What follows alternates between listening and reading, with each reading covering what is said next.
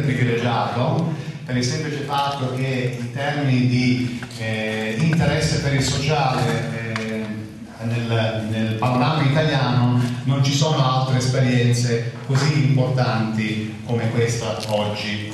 Eh, il loro lavoro è un lavoro di impasto. Loro prima di essere grafici interessati, socialmente interessati, responsabili sono persone socialmente responsabili interessate, sono non solo designer ma sono anche insegnanti, sono sempre stati anche politicamente attivi proprio nella loro sfera diciamo, eh, personale e, ehm, e quindi eh, dovete, voglio che sappiate che questo è veramente una, una, una, un momento importante, privilegiato. Social Design Zine, sapete, è intanto un progetto online è un progetto che giornalmente eh, viene, tratta argomenti sociali legati alla grafica e alla comunicazione e non solo, alla cultura in generale.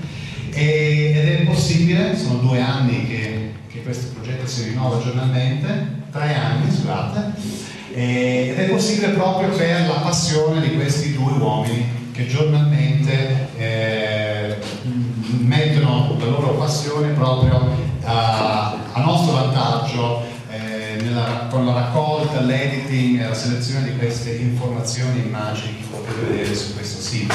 E questo periodo è anche un periodo molto particolare perché eh, questi giorni, in queste ultime settimane è uscito il libro Social Design Zine, è un volume, un bel tomo ricco di storie e immagini che raccoglie eh, il meglio o, o tutto quello. No, no, no. Un terzo circa, una selezione. Una selezione di tutte le notizie, gli articoli, gli argomenti che loro hanno trattato e sto parlando anche troppo e passo la parola a Andrea Gianni. Grazie. buonasera a tutti. Eh, sentite? Adesso? Sì. Allora, buonasera a tutti, eh, come diceva appunto Omar, cercheremo di raccontarvi con eh, brevemente quella, quella, che è l'esperienza di Social Design Zine, che è fondamentalmente eh, un blog quotidiano eh, curato eh, da me, Andrea e Mauro Pubblico per conto dell'AIA, che è l'Associazione eh, dei Grafici eh, Italiana. È eh, diciamo, un'esperienza soprattutto tesa alla creazione di uno scambio di informazioni quindi anche di una comunità fra tutte eh, le persone che si occupano di comunicazione e in particolare di quello che può essere la responsabilità sociale del, eh, del designer. E anche per questo cercheremo di essere abbastanza brevi in maniera tale poi da lasciare un po' di spazio soprattutto a, a eventuali vostre domande, ci farebbe ovviamente molto piacere perché diciamo, nella interrelazione fra eh, chi, chi scrive e i contributi delle persone che eh, leggono e eh, contribuiscono a creare insieme eh, dei contenuti del, del, nostro blog appunto che eh, lo spirito si realizza. Vorrei appunto partire un po' dalla dichiarazione diciamo, che apre anche il, il, nostro volume che ricordava appunto Omar uscito eh, da, da qualche settimana che è una frase appunto di, di Italo Calvino che cita una terzina di, del Purgatorio di Dante e che dice appunto la fantasia è un posto dove ci piove dentro. E questa è una frase che abbiamo ritenuto particolarmente indicativa eh, e descrittiva di quello che è la creatività, ma anche eh, soprattutto di quello che è il rapporto che lega la creatività e le idee con tutto il resto del mondo. E questo è un aspetto molto importante, perché eh, siamo convinti, abbiamo iniziato questo, questo esperimento di social design zine, siamo convinti, dicevo, che eh, per parlare di comunicazione visiva e di grafica è necessario parlare di tutto il resto del mondo. Questo ci rende bene l'idea del fatto che eh, la fantasia e quindi anche la creatività che dobbiamo applicare nella nostra professione non è un qualcosa che può essere scientificamente organizzato, perlomeno non solo. Diciamo che eh, è necessario coltivare questa questa creatività con eh, idee che sono anche esterne al, al, mondo stesso della comunicazione o della grafica. È necessario eh, dire, farci piovere continuamente nuove informazioni, dubbi soprattutto e eh, quanto diciamo, eh, di più eh, lato possibile che riguarda un'interpretazione anche del mondo. Progettare graficamente significa bene o male avere una visione della realtà. Per avere una visione della realtà è necessario occuparsi di politica, nel senso etimologico del termine, cioè nel senso di avere un interesse verso quello che è la città e lo Stato. Quindi questo è un po' eh, lo spirito con cui eh, ci siamo mossi e spesso è una cosa che ci, dobbiamo, che ci troviamo spesso a dover spiegare, vale dire, perché vi occupate anche di politica? Perché eh, la politica, appunto come dicevo, è un aspetto molto importante dell'interpretazione della realtà. Molti, molti pensano che nella grafica ci si possa dire, eh, interessare esclusivamente di aspetti squisitamente tecnici, ma non è così. E adesso facciamo un, un brevissimo excursus diciamo, di, di, piccole storie, perché quello che facciamo con social design in realtà è quello di raccontare ogni giorno una storia, qualche volta più approfondita, qualche volta meno. Diciamo un, un, breve percorso di storie collegate che possono dare possono essere di spunto a molte riflessioni. Eh, dicevamo appunto della politica che è un aspetto sempre presente, o perlomeno molto presente anche in tutto quello che riguarda la comunicazione. Per esempio, cosa c'è di più neutro di una lettera dell'alfabeto? In questo caso quello che vedete nella prima riga sono tre lettere. Possiamo dare un'avvertenza generale all'inizio, così poi la sapete già. Se avete qualche curiosità, volete sapere qualcosa, qualcosa che vedete che volete chiedere, perché è qualcosa che vi riguarda, per favore interrompeteci. Non perché, perché altrimenti succede inevitabilmente che noi parleremo di quello che interessa a noi, di quello che è lo scopo della cosa che stiamo facendo vedere, ma magari il vostro interesse su queste sei lettere è un altro rispetto a quello che vi raccontiamo. Allora, magari non lo sappiamo ma non lo riteniamo importante da dirvi, quindi se lo ritenete importante voi per favore interrompeteci e chiedetecelo immediatamente, ma senza avere questo rapporto freddo tra cattedra e, e, aula, perché altrimenti lo scambio non funziona. Il blog è una cosa che funziona in rete, ma anche nella realtà se c'è uno scambio davvero, perché altrimenti noi chiacchiereremo tre ore, saremo molto contenti di aver chiacchierato tre ore, ma non sappiamo se qualcuno di voi ha capito qualcosa o si è interessato a qualcosa. Ecco, per cui l'avvertenza fatta di cuore, davvero, se avete qualcosa chiedetecelo subito. Alzate perché la mano, funziona meglio con la tradizione, se la potete chiamare così, o la conferenza o, perché, o come diavolo lo vediamo. Diciamo, poi sarà difficile un po' per il primo, ma insomma con un po' di coraggio no? dopo la prima interruzione poi. All'ultima conferenza hanno fatto tre domande, quindi non no, ma c'è questo, domande ci saranno. C'è questo aspetto che è un aspetto sacrale, chi parla parla e chi ascolta sta zitto e ascolta, ma non è così, non funziona in questo modo, perché ovviamente voi imparate qualcosa, ma ne impariamo qualcosa anche noi, cioè perché sappiamo anche come calibrare. La prossima volta che parleremo, perché se qualcuno ci chiede una cosa per noi del tutto inaspettata, significa che non abbiamo saputo centrare degli interessi precisi e ce ne sono altri che abbiamo trascurato. Quindi è anche un servizio reciproco, non è solamente un'informazione per voi, è anche un modo di lavoro che noi poi usiamo. Noi l'abbiamo detto. La dichiarazione di è stata fatta. Allora, come eh, stiamo parlando appunto della neutralità delle lettere dell'alfabeto. Quello che vedete nella, nella, prima riga sono tre lettere dell'alfabeto cirillico eh, che nell'estate del 1917 furono dichiarate controrivoluzionarie. Si, di, si, trattava di tre lettere che effettivamente non avevano più un, un grande eh, valore eh, per la scrittura perché eh, avevano gli stessi valori fonetici delle lettere rispettivamente I, E e F e rappresentavano come dire, un punto eh, di discriminazione fra letterati e non letterati. Quindi diciamo nella, nel, nel, nello sforzo rivoluzionario della, della rivoluzione bolscevica ci fu, eh, nonostante appunto la guerra civile in corso, anche una, un preciso interesse nel cercare di eliminare quelle che venivano considerate lettere ormai controrivoluzionarie.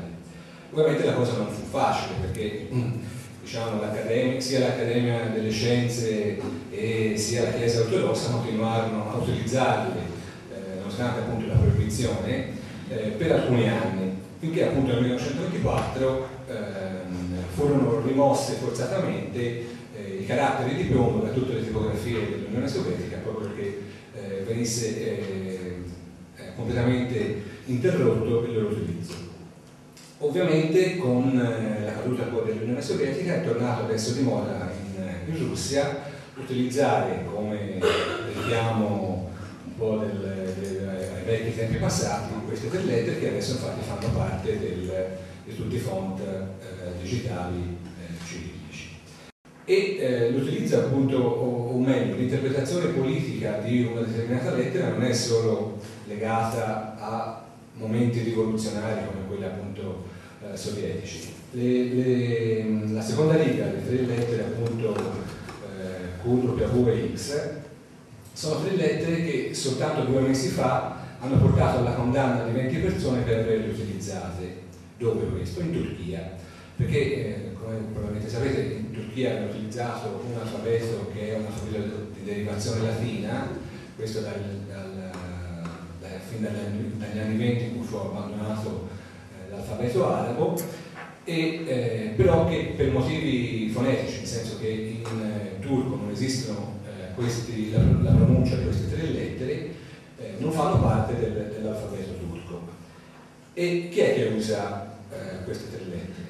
Le usano i curdi, che invece hanno, l'alfabeto latino con questi tre suoni e eh, ovviamente per motivazioni strettamente politiche che riguardano appunto lo scontro etnico corso in Turchia da ormai 30 anni fra curdi e turchi, la proibizione degli anni 20 di queste tre lettere continua ad essere eh, applicata ovviamente a discapito diciamo, della comunità eh, kurda che, che, vorrebbe utilizzare. Questo è importante dire, eh, sapere questi, questi, questi, piccoli aneddoti semplicemente perché la Turchia sarà una delle nazioni che entrerà a far parte anche della comunità europea fra qualche anno. Quindi anche eh, l'utilizzo di determinate lettere può avere talvolta delle conseguenze quantomeno inaspettate eh, normalmente. E non è stato ovviamente solo un problema di lettere, qualche volta sono stati interi alfabeti ad essere eh, aboliti per eh, motivi politici. Queste lettere che vedete sono le lettere dell'alfabeto, dell'alfabeto Cherokee, cioè della tribù indiana dei Cherokee. È un alfabeto eh, sillabico che fu inventato all'inizio dell'Ottocento da eh, un, un, indiano che si chiamava Sequoia, che vedete qui raffigurato, e che... Eh, un indiano americano. Indiano pelle rossa Nativo, nativo, nativo americano. turbante. No, perché il, la tribù dei Cherokee era una tribù molto integrata, aveva una cultura molto profonda, aveva un sistema di rappresentanza anche eh, elettivo e soprattutto eh, appunto proprio per il tipo di, di, cultura che era molto integrata anche con quella del, erano anche degli, elegant, erano degli elegantoni anche. Beh, quel carattere mi sembra un bodone. Esatto, esisteva un, un, reggimento anche di, dei, dei Cherokee in cui aveva appunto militato anche Sequoia e eh, proprio durante diciamo, le operazioni militari si erano accorti che era un, un grosso eh, svantaggio quello di non avere una, una, un, un, tipo di scrittura che potesse rappresentare la loro cultura. Eh, Sequoia fu, uh, fu, la persona che si mise in testa di realizzare un sistema uh, alfabetico che permettesse appunto la, la, la scrittura della lingua cherokee.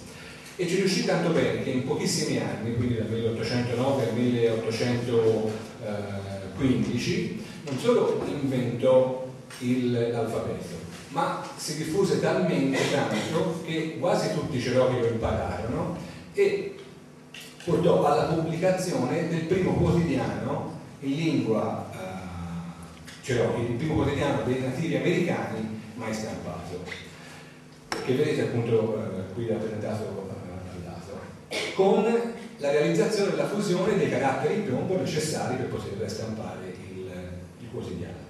Ovviamente la, la, la storia non finisce, non finisce, bene, penso che eh, nonostante appunto eh, questa forte integrazione, le mire espansionistiche del, dei bianchi sulle terre dei Cherokee portarono a un sempre maggiore allontanamento da, dalle terre fertili originali e eh, fino all'imposizione, eh, eh, la sottomissione del, dell'intero popolo Cherokee eh, sotto guarnigione militare che li, li trasportò eh, poi nelle zone desertiche eh, dove sono tuttora residenti le, nelle loro riserve.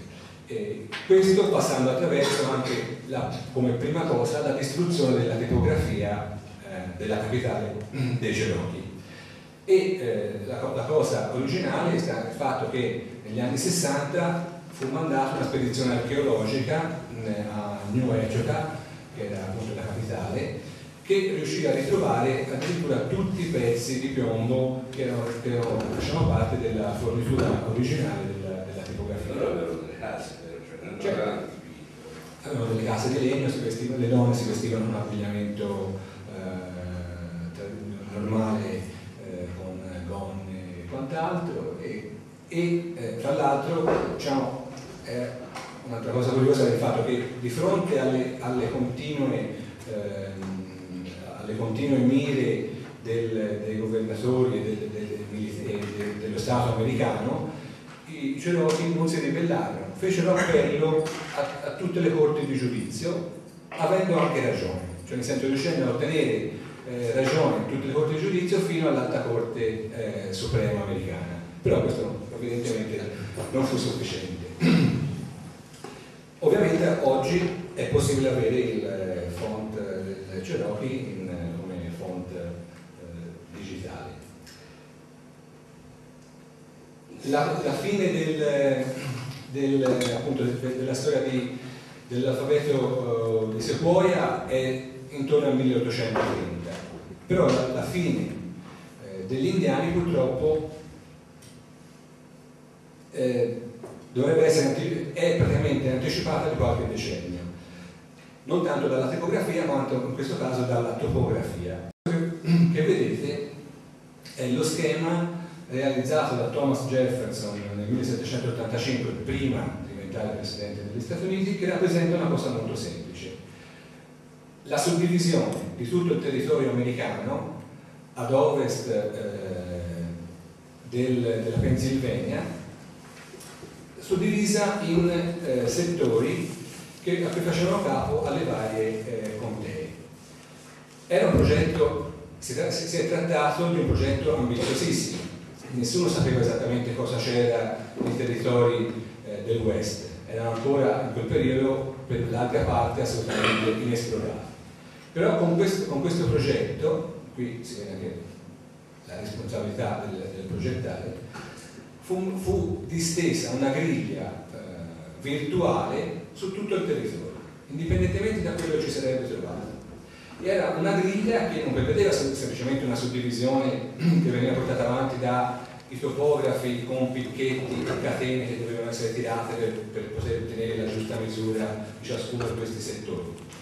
Ma era una suddivisione che prevedeva di già che cosa sarebbe sorto in questi riquadri. Per esempio nel riquadro 16, il riquadro 16 vicino al centro era eh, il settore che era dedicato al, eh, alla scuola e all'università, mentre altri quattro di questi settori erano riservati per le attività eh, del governo federale. Quindi indipendentemente dal fatto che uno si trovasse nel mezzo di una foresta piuttosto che sul fondo di un canyon, avrebbe saputo già in che, che cosa sarebbe sorto in quel punto. Ovviamente quello che mancava era uno spazio per gli indiani. Quindi in questo progetto la fine degli indiani era già prevista. Ci vollero 140 anni perché venisse eh, effettuata la uh, suddivisione secondo il principio appunto della Land Ordinance del 1785, però già dal, dal, nel progetto originario era già prevista la suddivisione di tutti gli Stati Uniti. E questo diciamo, è un aspetto importante perché eh, anche nella rappresentazione cartografica c'è un, una valenza politica. Questo per esempio sarebbe l'effettiva eh, eh, rappresentazione del, degli Stati Uniti se venissero tolte le eh, aree che sono sottoposte a, come riserve indiane a un'amministrazione eh, autonoma. Ecco, qui per esempio vediamo un risultato di, questo, di questa suddivisione che abbiamo visto eh, perfettamente ehm, eh, quadrata del, del, territorio. Questi sono i risultati, questa cartina vedete, i risultati elettorali delle ultime elezioni presidenziali americane. In rosso sono le contee che hanno votato per, che hanno, in cui la maggioranza è, è, è, stata per Bush e in blu quelle per anche perché eh, cromaticamente per esempio negli Stati Uniti sono invertiti i colori rispetto a noi, cioè nel senso i conservatori, eh, i repubblicani hanno come colore istituzionale il rosso, i democratici hanno il blu. Quindi l'interpretazione di questa cartina per esempio dà un senso immediato di eh, stravittoria da parte del Presidente Bush. Però eh, può essere rappresentata anche in maniera diversa la, gli stessi identici eh, risultati elettorali. Questo per esempio è la stessa carta con gli stessi risultati affidando, anziché i semplici due colori, una gradazione dei due colori a seconda della percentuale che ciascun partito ha ottenuto quella determinata contea. Vedete che eh, in questa immagine rispetto alla precedente eh, c'è un, una visione diciamo, un po' più complessa aumentiamo la complessità eh, dell'interpretazione visiva di quello che vediamo. Ma si può fare ancora un ulteriore passo. Questa è la stessa carta con le gradazioni a seconda delle, delle percentuali eh, dei due partiti, in cui alla dimensione della contea viene dato un valore in base alla popolazione, quindi al valore effettivo dei voti. Come vedete il cambiamento è molto radicale. Quindi l'utilizzo, per questo anche per esempio ci sono stati molti dibattiti negli Stati Uniti subito dopo le elezioni anche all'interno dell'AIGA che è l'associazione appunto dei grafici americani, riflessioni guardate sul fatto che il grafico che realizza anche questo tipo di eh, immagini ha un enorme potere, ha un'arma a sua disposizione e eh, non è un caso infatti che questo dibattito sia stato originato eh, proprio eh, negli Stati Uniti. Questo per esempio è la scheda elettorale che permise a Bush di vincere eh, in alcune contee della Florida ottenendo poi il, eh, durante il primo mandato alle prime elezioni eh, ottenendo appunto la, la, prima, la, prima, investitura come presidente. Conte elezioni molto contestate e in cui appunto si vede bene come un, un tipo di design particolare della scheda abbia influito pesantemente sull'elezione della persona più potente del mondo. Come, come, vedete, per votare il secondo candidato, cioè Al Gore, quello dei democratici, era necessario votare, eh, forare il terzo furo, anziché il secondo. E questo ha comportato eh, il fatto che il eh, candidato primo candidato a destra, Pat Buchanan, avesse effettivamente un enorme numero di voti, molto più alto di tutto il resto degli Stati Uniti, eh, a causa di questo evidente eh, grave errore nella progettazione della scheda. Poi è stato fatto anche il nome della povera ragazza che aveva disegnato questa scheda, è stata licenziata l'anno scorso, insomma. però diciamo, è eh, un tipo di riflessione che è molto importante, anche perché appunto grazie a questo, a questo, tipo di impostazione Petro è stato eletto la persona più a presidente, la persona eh, alla presidenza del paese più importante eh, del mondo. E eh, infatti non a caso l'AIGA, l'Associazione dei Grafici Americani, ha iniziato fin da allora un, una serie di attività che vanno sotto il nome di eh, Design for Democracy per dire, eh, studiare e portare avanti i progetti per un'accessibilità democratica alle elezioni. Accessibilità democratica significa avere la possibilità appunto di disegnare ovviamente e di far realizzare delle schede che non inducano in errore l'elettore, ma ugualmente anche dare tutto il tipo di informazioni necessarie per le cabine elettorali, per i manifesti elettorali che riportano i candidati e quant'altro. E all'ultima elezione anche questa serie di manifesti che qui vedete, che è andata appunto sotto il, lo slogan Good Design Makes Choices Clear, cioè il buon design fa scegliere meglio, che è una, una diciamo, dichiarazione di intenti molto, molto importante e significativa. Da tenere presente anche noi, adesso c'è questo dibattito sui eh, dibattiti televisivi eh, elettorali sulla part condition e quant'altro, eh, sono tutti aspetti su cui un designer è chiamato a dare una propria interpretazione eh, che può essere appunto in, in, senso apertura democratica oppure eh, al suo contrario. Quindi è importante riflettere eh, su quello che è la responsabilità del, della propria attività. E qui veniamo per esempio a una nuova forma di comunicazione e di partecipazione politica, che è eh, design fino a un certo punto. Questo è, eh, sono immagini tratte dal sito Sorry Everybody, che, fu, che, è stato aperto immediatamente dopo appunto, le ultime elezioni americane, in cui eh, prima per gioco eh, alcuni studenti americani si, si fotografavano mettendo la propria foto in rete con un cartello in cui si scusavano nei confronti del resto del mondo per non essere riusciti ad impedire le elezioni di Bush. È stato un successo talmente enorme che in pochi giorni sono arrivate centinaia di migliaia di immagini eh, a questo sito di persone che mettevano la propria faccia e quindi la, un, dire, una dichiarazione proprio di partecipazione con la propria faccia a questo, a, a, questa, a questo sito. E che cos'è questo? È la derivazione di quello che è anche una nuova forma di partecipazione alla politica.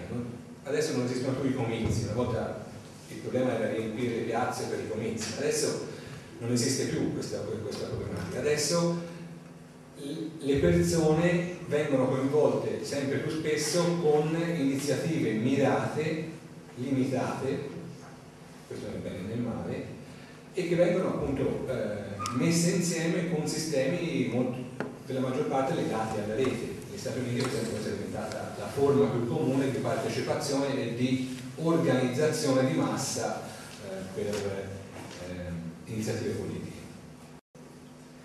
Tanto che appunto questa, questo aspetto delle eh, immagini, di mettere la faccia, quindi di dare la propria rappresentazione, è stato utilizzato, a partire dall'esperienza di Sorry Everybody, anche da altre iniziative. Questa che vedete per esempio è l'iniziativa di Amnesty International per mettere al bando il, eh, il commercio internazionale delle armi. È un'iniziativa partita l'anno scorso che... Eh, 700.000 voti in questo momento. Quindi siamo l'anno scorso erano 650.000 quindi con questo incremento oggi saranno grosso modo 700.000. Comunque e lo scopo è quello si può vedere in rete, eh, non ricordo la urna, non so se può vedere in rete, e c'è l'aggiornamento in tempo reale di quante fotografie hanno in rete con eh, quello che si vede questo che dobbiamo vuole. E questo diciamo, è una partecipazione internazionale, è un, questa è veramente una globalizzazione eh, del, della comunicazione politica. E questo è un po' anche il motivo per cui abbiamo utilizzato la rete per creare eh, il nostro blog di social design. Ehm, un, tipo di utilizzo appunto in rete che ha diciamo, aspetti positivi e aspetti negativi, per esempio una delle, delle critiche che vengono più eh, spesso portate avanti per, sul, sul, discorso di, de, della rete ma chi me lo dice che è vero quello che trovo in rete? perché effettivamente circolano tantissime false notizie, spam, eh, informazioni eh, fraudolente e quant'altro. E questo diciamo, è un, un, serio problema anche per, per l'enorme esplosione diciamo, del, di quello che è il mondo, il panorama del, del blog o blogosfera come viene detto. Considerate sem semplicemente che quando abbiamo iniziato appunto nel 2003 i blog nel mondo erano stimati in circa 500.000 il mese scorso all'ultimo censimento ne risultano 20 milioni, con un, con una tendenza al raddoppio ogni 5 mesi, che vorrebbe dire che prima dell'estate saranno oltre 40 milioni di blog. Quindi è evidente che la quantità di informazioni che, che, che si trovano in rete è, eh, sta aumentando esponenzialmente. Esponenzialmente aumenta anche il rischio di trovarsi su, eh, ad avere a che fare con false informazioni.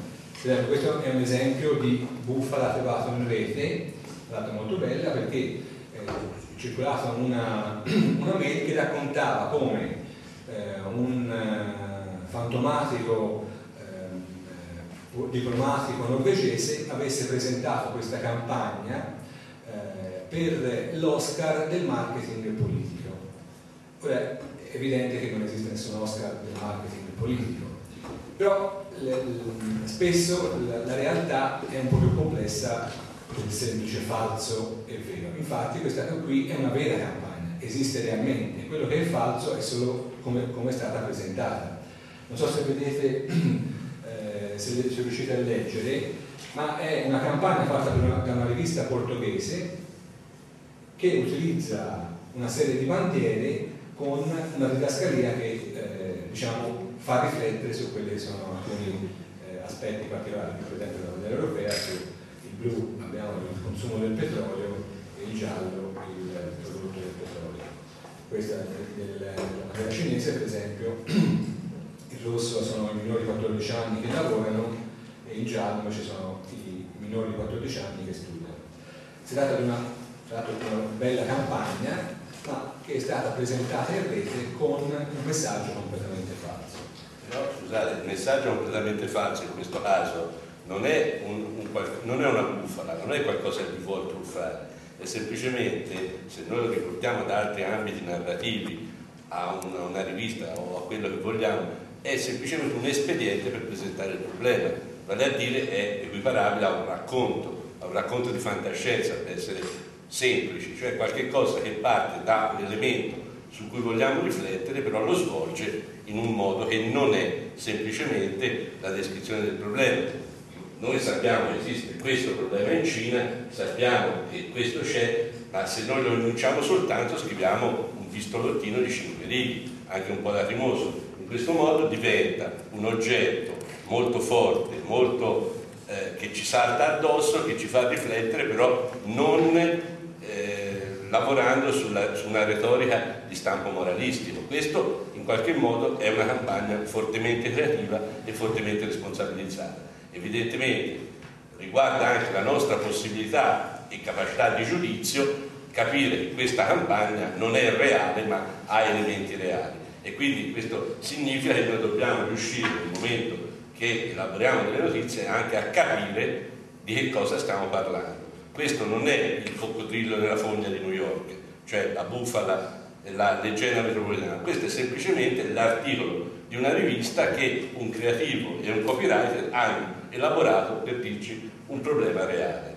Dopodiché quando è passata nessuno ha saputo più questo e ce la siamo vista semplicemente tolta dal suo contesto. Quindi ci sarà stato sicuramente anche qualcuno che pensa che un Oscar del marketing politico o forse un Nobel no, insomma, diciamo un, un premio prestigioso esista davvero e sarebbe voluto sì, questo è possibile, però è un rischio, devo dire, del tutto, eh, del tutto da correre in una cosa del genere.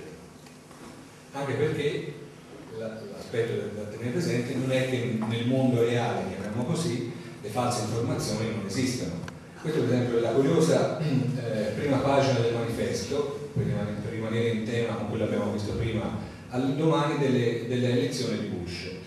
Visto che il manifesto chiudeva, chiude notoriamente prima la, la stampa del, del, del, del, giornale, il manifesto e la redazione aveva preso per buone le prime pretroiezioni prima del, dell'apertura dello scrutinio, dando per buono le elezioni di Kerry eh, anziché quella di Bush. Per cui quello che vedete eh, a sinistra è la prima pagina del manifesto che è uscita il giorno in cui Bush è stato eletto. Poi ovviamente è stato fatto un, una correzione eh, ed è uscita poi la, la, la notizia reale. Però eh, il manifesto qui ha preso una emerita cantonata, che tra l'altro ha eh, riccamente corredata di commenti e, e vari testi a, a supporto appunto del, del, della vittoria di Kerry. Anche se appunto il manifesto eh, diciamo non, oltre a fare una, una figuraccia comunque non, non, ha danneggiato più di tanto. Altri tipi di, di false informazioni possono essere queste che vedete. Queste sono alcune delle slide eh, presentate eh, al Consiglio dell'ONU eh, per dimostrare l'esistenza delle, delle, armi nascoste di Saddam Hussein la presentazione di questo tipo di, di immagini ovviamente ha comportato delle, dei, delle conseguenze diciamo, ben più gravi di quelle del, dell'errore del manifesto. E eh, in rete è possibile appunto eh, trovare tutto. Questo è, che, che, che, vi raccontiamo adesso è una, una, piccola storia che è divertente perché eh, l'abbiamo voluta seguire fin dall'inizio perché è, è stata una notizia che abbiamo eh, trovato noi, cioè due ragazzi che lavorano nel, nel mio studio, eh, visto che noi per social design ci occupiamo molto di comunicazione politica, eh, archiviamo e ehm, scarichiamo molti dei manifesti che abbiamo fatti dai, dai vari partiti per le elezioni. Per cui questi due ragazzi, eh, scaricando alcuni PDF scaricati dal, dal sito di Forza Italia, si sono accorti che eh, all'interno del, della finestra delle informazioni, se eh, uno va a vedere il creatore del, del, file PDF con cui è stato fatto, viene fuori che è stato realizzato da un qualche Specs Passport, versione 4.11 molto vecchia, con una K fra parentesi.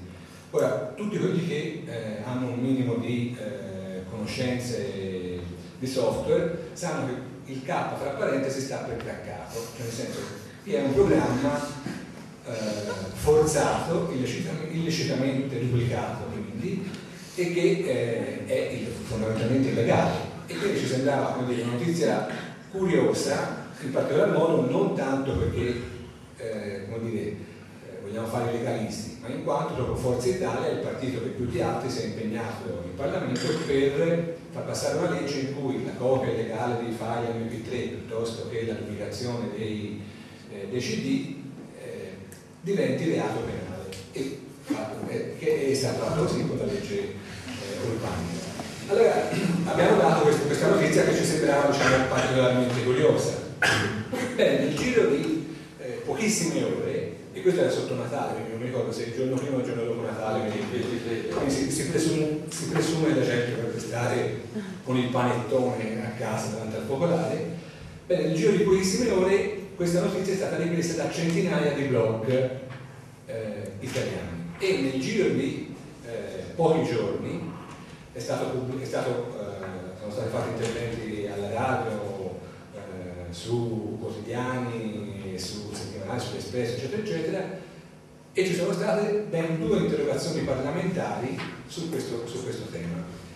Eh, tra l'altro alcune ci sono ulteriori, ulteriori eh, prese di posizione sia da parte di parlamentari di Forza Italia sia di eh, altri partiti. Tra l'altro si è detto per inciso e per far condicio, nel momento in cui è stata pubblicata e si è diffusa questa notizia, sono stati praticamente passati al setaccio dai blogger italiani tutti i siti dei partiti eh, italiani e sono stati trovati eh, file fatti con file craccati anche sul sito di Fondazione Comunista. Quindi o anche loro usano file craccati o usano la stessa agenzia di Forza Italia. Però questo eh, diciamo, è stata una notizia curiosa, particolarmente interessante per vedere come una notizia ha origine e come questa si può eh, evolvere eh, dalla rete anche al fuori di rete. Questa sarà una cosa che ci troveremo sempre di più eh, di fronte nei, prossimi tempi, anche perché diciamo, il vantaggio dei blogger e dei blogger è il fatto di avere una, una attenzione anche a una miriade di cose che sfugge a quello che è invece il giornalismo ufficiale ehm, italiano. Una domanda, Gianni. Ovviamente, come forse a tanti questo episodio mi ricorda un po' striscia la notizia, no?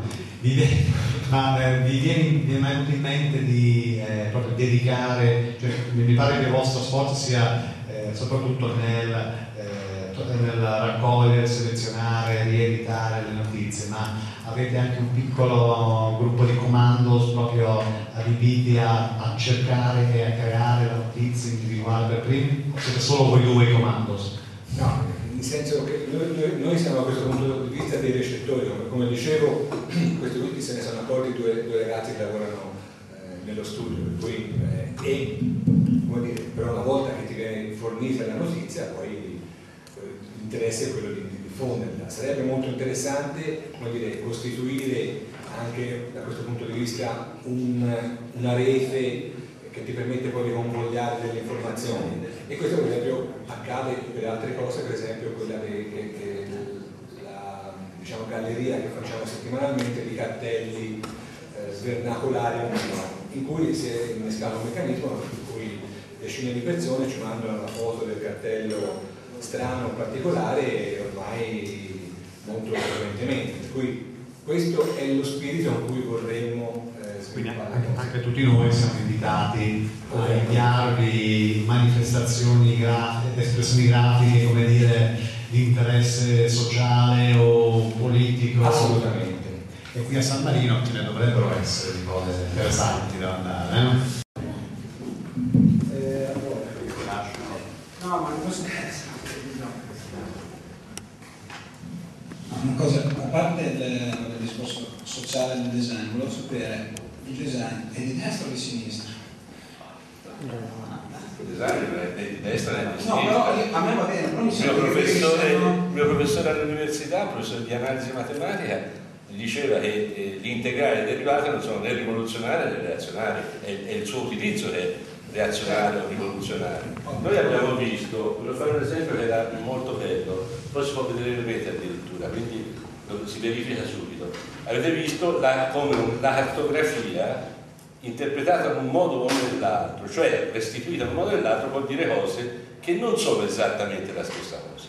Cioè da una parte noi abbiamo visto che gli Stati Uniti divisi in maniera eh, maggioritaria vogliono dire che la maggioranza di Bush è schiacciante, divisi in maniera proporzionale e raffinatamente proporzionale, vogliono dire che praticamente gli Stati Uniti sono divisi trasversalmente a metà tra azzurro e rosso sono praticamente 50 contro 50 perché poi tendono a integrarsi verso il violetto.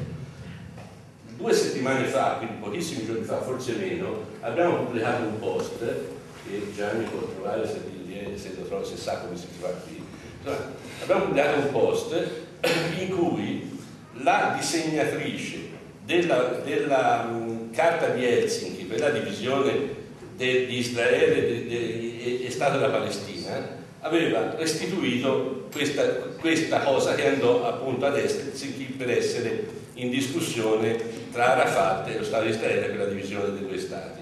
Ecco, quella carta provocò un incidente diplomatico in quanto Arafat, questa che vedete, vedendo questa carta si, eh, si arrabbiò, diciamo, buttò tutto per aria e le trattative si interruppero. Perché? Perché la restituzione di questa carta era una restituzione illeggibile e in qualche modo non mediata, cioè si vedeva chiaramente come il, i territori della Palestina sarebbero stati uno spezzatino completamente indigeribile. La stessa disegnatrice ha fatto ammenda per questo suo modo di restituire, poi era una disegnatrice per modo di dire, perché era, avvocato. Eh, era un avvocato, cioè una disegnatrice quanto lo disegnò, ma nel momento in cui si accorse che il suo modo di rappresentare una realtà aveva creato una situazione politica e quindi una responsabilità politica di un certo tipo, insieme a un grafico ridisegnò la cosa che poi pubblicò in una, pubblicato in una rivista americana in cui si vede come lo stesso territorio visto in un altro modo offriva uno spaccato della realtà ben diverso e quindi politicamente più usabile per quella situazione. Ecco, in questo caso l'usare il design in un modo o nell'altro dà anche uno spaccato di come, vuoi, di, di come vuoi usare la realtà. La, la mappa di Jefferson, la, il diagramma di Jefferson che abbiamo visto prima, come abbiamo visto, dà una lettura della realtà che porterà dei risultati che saranno poi equiparabili e giudicabili in maniera non più grafica ma storia. Quindi in realtà non esiste un modo anonimo di definire destra o sinistra reazione o rivoluzione dal punto di vista grafico, ma l'andare in una direzione o non andare nell'altra darà dei risultati. Questi risultati poi saranno non solamente ovviamente determinati dalla grafica, ci mancherebbe altro, però la grafica avrà comunque un ruolo di responsabilità importante. Comunque diciamo da questo punto di vista forse se di destra o di sinistra eh, la grafica eh, può essere utile anche qui non, non parliamo di grafica, parliamo anche di critica diciamo, della comunicazione, può essere utile ricordare anche una frase di Don Milani, cioè nel senso adesso è facile criticare potere, al momento in cui ci sarà un altro tipo di governo di sinistra, sicuramente non, non ci sarà assolutamente nessuna remora a criticare ugualmente le malefatte, eh, se, se, queste ci sono, eh, della, de, della comunicazione. Per cui direi che da questo punto di vista l'aspetto comunicativo vuole essere al di sopra delle parti, anche se in molti casi, eh, come dire, siamo quasi tirati per i capelli ad affrontare alcuni tipi di argomento perché ecco, questa è la situazione purtroppo in cui ci troviamo. Ci sono una serie di, eh, di situazioni sono enormemente interessanti, più che in se stesse, per quello che determinano. Voi avete visto prima i, le schede craccate di Forza Italia. Ora sono state trovate, sono state mandate, vedete come molte altre cose, con un po' con un briciolo di soddisfazione sadica da parte nostra, ma non tanto perché Berlusconi ha rubato un qualche espressa che costa 6 milioni e 300 mila lire, non per questo naturalmente, ma perché era così buffa la cosa che quella campagna pubblicitaria è intitolata Operazione Verità. Ecco, l'operazione verità parte con dei manifesti che sono fatti con un programma rubato. Ecco, questo era divertente, ma non è che nessuno di noi pensava adesso andiamo alla magistratura a denunciare questo orrendo abuso, ben altri ce ne sono come immagino sappiate bene. Quello che poi si è scatenato però su questo, che, era, che per noi sarebbe finito probabilmente lì, divertente, ci siamo divertiti, qualcuno ci ha letto, qualcuno ci cita, appunto. Però cosa è successo? È successo che i, eh, noi abbiamo avuto 60-70 commenti su questo, questo. I giorni successivi ah, ci siamo ritornati sopra per vari motivi, per cui ce ne abbiamo avuti altrettanti eh, il blog di Libero, Libero It, ha avuto credo 600 commenti su, su questa notizia, eccetera, eccetera, eccetera. Quindi sta. Ecco, come erano disposte queste notizie? Queste notizie erano disposte praticamente come il paese, metà ci credevano e metà no. Cioè metà credevano che fosse vero perché Berlusconi è un ladro, un figlio, un figlio di buona donna, e metà credevano che invece Berlusconi fosse del tutto innocente, ci mancherebbe altro, e che questa fosse una delle tante bufale che girano in rete. Questo atteggiamento, cioè questo atteggiamento eh, di divisione assoluta, si è riprodotto nel dibattito alto, cioè nel dibattito parlamentare, per cui noi abbiamo Pecoraro Scanio che ha fatto un'interrogazione al Parlamento e eh, come si chiamava? il responsabile del sito web di Forza Italia che ha difeso a spada tratta la cosa dicendo se non ci credete venite dal nostro collaboratore a vedere che questo programma è vero cioè facendo quello che è una dichiarazione del tutto apolitica, cioè l'ultimo che parla ha sempre ragione. Cioè perché tanto nessuno può andare mai a vederlo e chi va a vederlo non, non, sarà uno che non riuscirà a variare l'opinione che hanno tutti quelli che per ultima cosa hanno letto quella dichiarazione. Questo è ovvio, basta che voi guardiate la televisione e vedete benissimo che i dibattiti sono fatti così. Non è importante dire la verità o dire una cosa che è eh, in qualche modo dimostrabile, basta dirla per ultimo, perché l'ultimo c'è chi urla più forte ha sempre ragione, avrebbe detto la mia nonna, quindi è, è, un, è, una, è una, cosa. Del, ecco, questa cosa, questo, questa constatazione è una constatazione che va bene al di là della notizia, perché è la certificazione in questo modo abbastanza testata di un atteggiamento che è un atteggiamento sociale, un atteggiamento sociale forte. Quindi noi, non noi abbiamo in questo momento due schieramenti di cui eh, siamo più o meno, eh, a, a, cui più o meno aderiamo, che però lavorano in questi termini. Un, uno schieramento che crede in maniera del tutto apolitica e comunque Berlusconi ha torto e un atteggiamento che al contrario crede che Berlusconi ha ragione. Ecco, questo è quello che si deriva ben al di là dalla nostra notizia divertente da questa esperienza ed è un'esperienza che ha invece un valore dal punto di vista comunicativo ben al di là di, di, questa, di questa cosa pure gustosa che noi siamo molto affezionati e che ci ha molto divertito. Forse da questo io adesso eh, parlando mi sembra per esempio che eh, solo si capisce al di là eh, dei direttori come, la pensano, come sono schierati, forse si capisce anche un pochino eh, ritroso anche la politica, cioè abbiamo una direttora Spagna che ha quasi in qualche modo strumentalizzato nuovamente queste, queste accuse per buttarle dall'altra parte, dall'altra parte l'hanno riparlate in qualche altro modo. Cioè, una sorta di solito cortocircuito che avviene nei dibattiti odierni che si sentono, che si sentono adesso. Cioè, non, mi sembra forse, dal suo punto di vista, esagerato, insomma, prendere una notizia così come lei giustamente definito, come diciamo più, sorta di curiosità, perché in fondo la legge che ha fatto eh, Berlusconi ma è, una legge tutto sommato che tutela, che protegge. Berlusconi non ha fatto niente, Berlusconi non ne sapeva assolutamente un filo secco, questo è abbastanza ovvio, cioè non credo che il Presidente del Consiglio, che il Presidente del Consiglio vada a controllare i programmi nello studio che gli fa le attoline, ci mancherebbe altro. Notizia poi appunto perché non è possibile da parte sua controllare fino in maniera così capillare insomma, le operazioni che fanno e la, la sua gerarchia a scendere, eh, mi sembra anche dall'altra parte che sia preso questa piccola notizia per tirarla. Io questo l'ho detto, mi sembra, no? Noi, no, no, no, come noi siamo schierati è ovvio e non, cioè, non c'è nessun motivo di. Cioè, io credo che sia un, un atto di, eh, come si può dire, di ecologia culturale il fatto che tu, tu leggi una cosa sai di chi sta parlando. Io non ho nessuna eh, come si può dire, remora a dichiarare come la penso.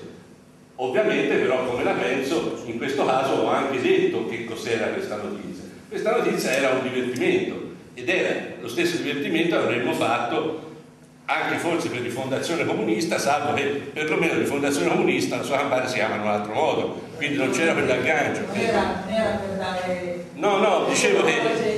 Dicevo che quello... Perché appunto quello che lei definisce una sorta di divertimento è stato poi preso a strumento sì, sì, ma è questo, questo aspetto interessante. Mi sembra, è tutto. La cosa diciamo che... Una notizia gonfiata si chiamerebbe forse, no? Che è stata eh. No, perché il gonfiata, la notizia si gonfia. Noi abbiamo anche, scusate, mi faccio perché sennò non, non vedo. Cioè la, la notizia gonfiata la gonfia direttamente il giornale noi non abbiamo gonfiato, noi abbiamo dato una notizia che abbiamo trovato ironizzandoci sopra, appunto. Il nostro discorso è già finito, ma io non mi sarei mai sognato se avessi fatto un commento eh, che non ho fatto io, ha fatto Gianni, ma che comunque era condiviso, ma non, non, mi sarebbe, non avrei mai nemmeno vagamente pensato che il Presidente del Consiglio, qualora, qualunque ne sia il nostro giudizio, si metteva a craccare un programma, ma figuriamoci. È ovvio che non è stato così, però era così buffo il rapporto che c'era tra il governo che ha appena fatto una legge per impedire qualsiasi pirateria informatica, fa una campagna elettorale che si chiama Operazione Verità e la prima cosa che manda in rete sono i programmi piratati. È ovvio che è divertente. Allora questa cosa divertente viene evidentemente amplificata poi prendendola a esempio di un comportamento e quindi facendoci sopra un ambaradan politico ufficiale, perché poi nessuno ha, ha, detto, cioè nessuno sapeva più da dove fosse nata questa notizia, salvo poi i, primi, i blogger della prima ora, ma tutti gli altri non ne sapevano assolutamente più niente. Sì, c'è, anche, un, eh, anche un altro livello che è un livello diciamo, di interesse, può essere diciamo, eh, più importante eh, per voi rispetto alla discussione del, del contenuto di, questo, di, questa notizia, che è come eh, nasce, come si sviluppa una, una, notizia. Per me è stato interessante questo aspetto qui, più che la notizia in sé, di cui appunto, come abbiamo detto, ci interessava fino a un certo punto. È stato interessante perché è stato come avere un esperimento in vitro che è rarissimo eh, nel campo della comunicazione, cioè essere l'origine di una notizia e poter vedere come questa si diffonde perché era particolarmente interessante? Perché è una notizia che ha avuto origine in rete, si è dire, eh, enfatizzata e eh, allargata all'interno della rete e poi è uscita fuori. Questo, eh, qual è appunto quindi la, la, la conclusione di, di, questo, di, questa esperienza? È il fatto che eh, di nuovo torniamo alla responsabilità del designer. Eh, noi come dando semplicemente una notizia, che può essere una curiosità, in realtà tutte le volte inneschiamo un meccanismo di comunicazione di cui non abbiamo il controllo, non sappiamo cosa succede. Questo qui è assolutamente involontario tutto quello che il fatto che potesse avere un così grande successo e un così eh, come dire, un grande rilievo dentro e fuori la rete.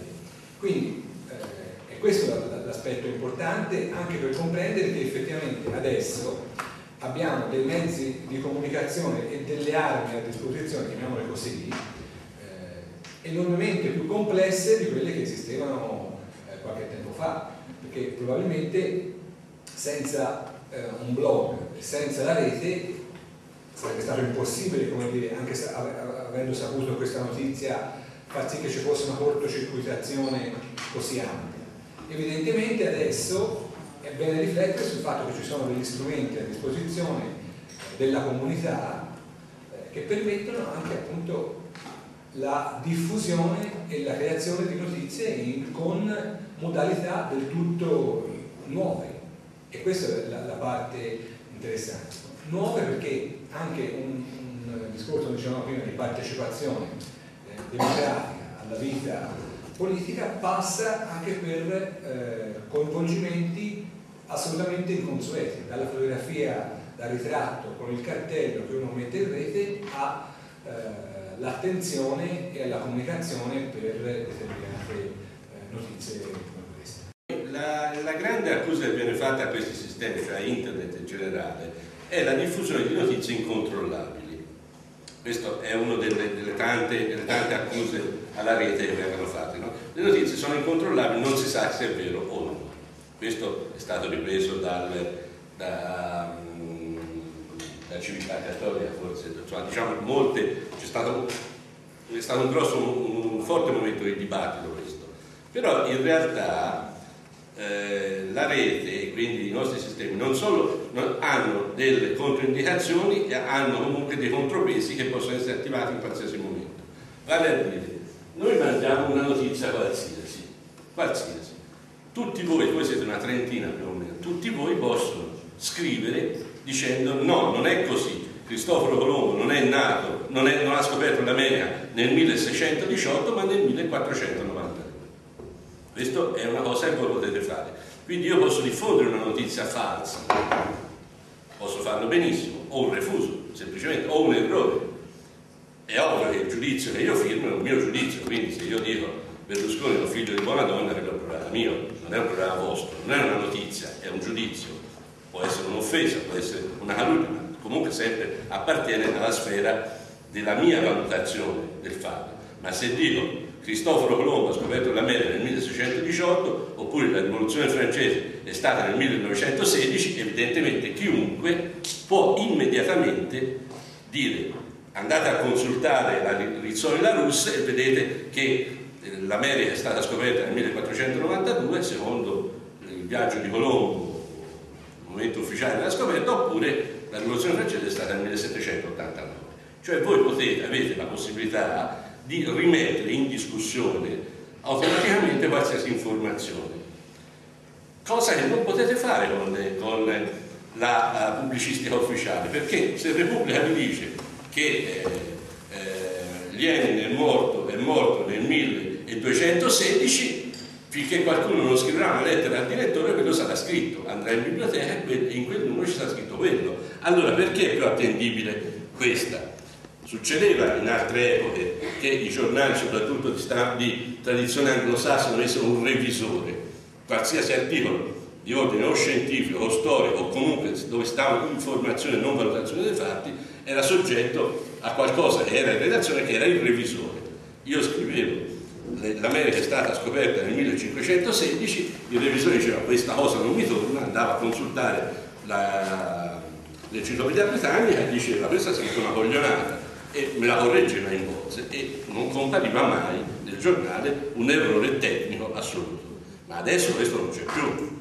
Adesso i giornalisti mandano in rete direttamente il pezzo che stanno scrivendo. Qualsiasi cosa viene scritta è qualcosa che va immediatamente sulle vostre tavole. e quindi voi ve la bevete o non ve la bevete esattamente come in rete. Solamente con il quotidiano o con la rivista non avete alcuna possibilità di variare l'informazione, come non avete la possibilità di variarla con il telegiornale, eccetera, eccetera, eccetera, perché sono mezzi che comunque non presuppongono un'interazione. Il blog presuppone che tu puoi immediatamente non solo darmi un'aggiunta di informazione, darmi un link presso un sito particolarmente autorevole mi dirà più cose su quello di cui sto parlando, ma darmi informazioni dirette. Io questa la so e te la dico.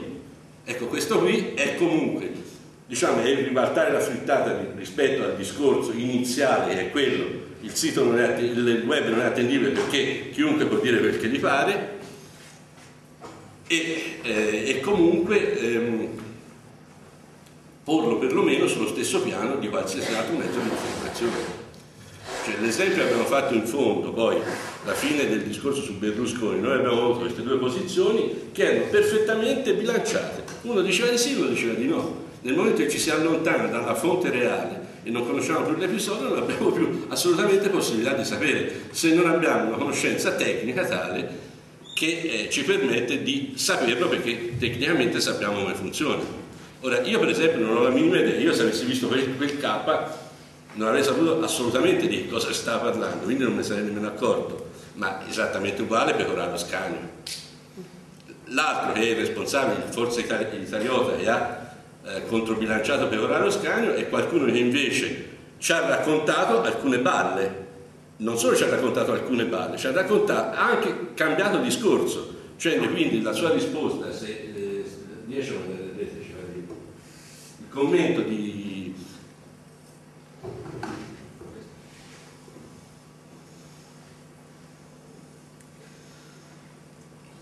questo signore San Barbieri ha detto queste cose.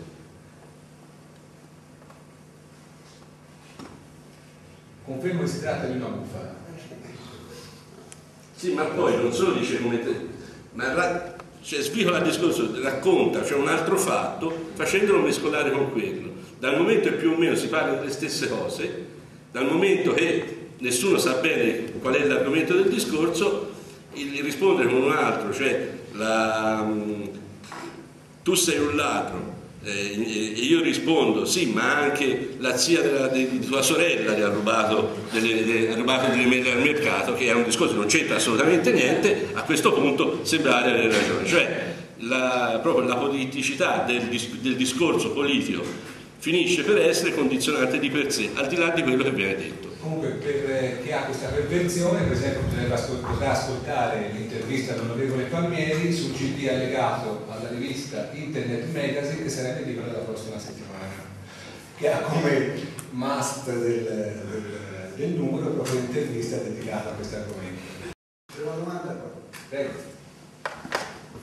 Volevo sapere, ho visto ultimamente qualche programma in televisione, dibattito Berlusconi non Berlusconi, comunque si sentono parlare le due parti e al di là di, non so, conoscenze esterne, una persona rimane, io almeno sono rimasta un attimo, eh, diciamo, cioè non sono riuscita a dare ragione né a una parte né all'altra perché comunque te la rigirano, cioè è incredibile questa cosa, il potere che hanno su questa Questo è il potere della televisione.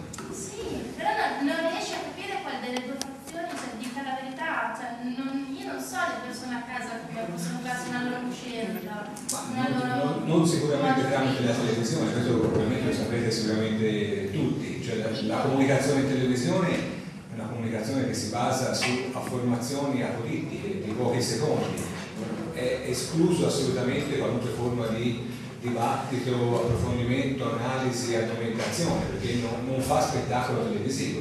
Quindi in televisione se il discorso supera i 30 secondi eh, si cambia canale. Quindi la comunicazione in televisione assolutamente è il contrario della comunicazione politica. Infatti fondamentalmente si, si parla di spettacolo politica adesso.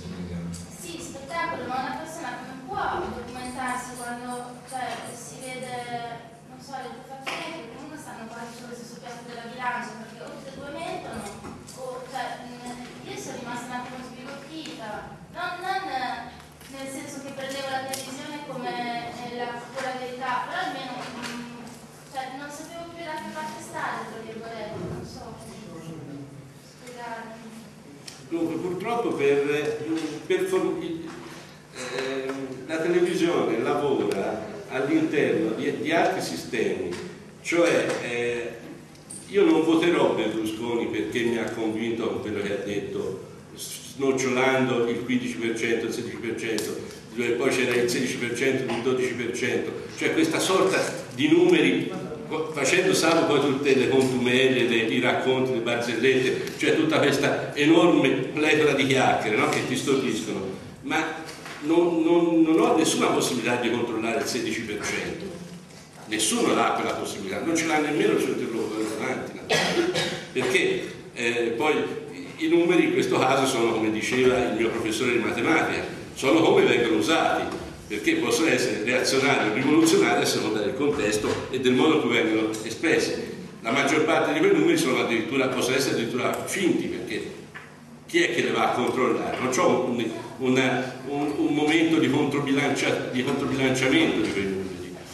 Allora lì lavora semplicemente sulla, eh, sulla tua credibilità pregressa sul tuo, sul tuo, eh, sulla tua attendibilità e sulla tua opinione politica che è un'opinione in qualche misura già formata. Cioè se tu hai un'opinione che è formata eh, ed è calibrata per votare l'alleanza nazionale, sarai inevitabilmente portato a dare più credibilità a quello che dice Fini piuttosto che a quello che dice Fassino e, e viceversa, perché comunque tu hai avuto una serie di prove che, che, non so quali siano, ma che sicuramente ci sono state nel corso del tempo, che ti hanno portato a formare la tua coscienza politica in una direzione e a dargli un orientamento.